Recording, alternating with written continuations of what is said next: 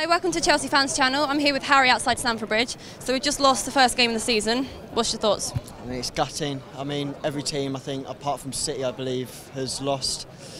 But you know, had to happen. I mean, we didn't particularly play well. I think Matic was one to single out as having a poor game. Uh, and as much as I don't like to say this, as it reminds me of Mourinho, but the linesman did have a shocker. But at the end of the day, I mean, as much as I've never rated Henderson in the England team, that was a ridiculously good goal. Uh, and obviously, the first goal was poor defending. And you know, it wasn't our day. I mean, we've got to step it up, especially with Arsenal coming up and Leicester, the champions in the cup. And today we just weren't we weren't good enough. Things didn't go our way, but equally, we we need to step it up if, if we're going to get top four this year under Conte, which I mean we will do, I think. But you know, I mean we obviously have to to keep our status after last year. But I mean today we just simply weren't good enough.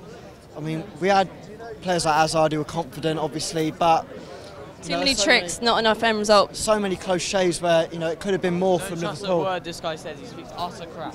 utter crap.